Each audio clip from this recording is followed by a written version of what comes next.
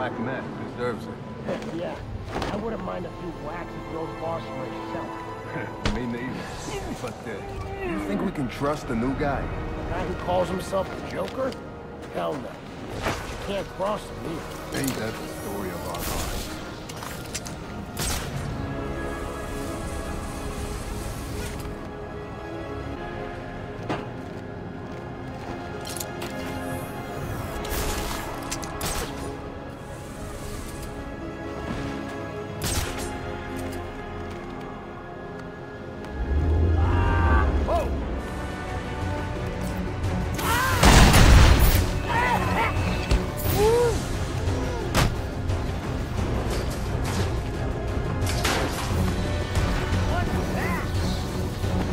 Come on, baby!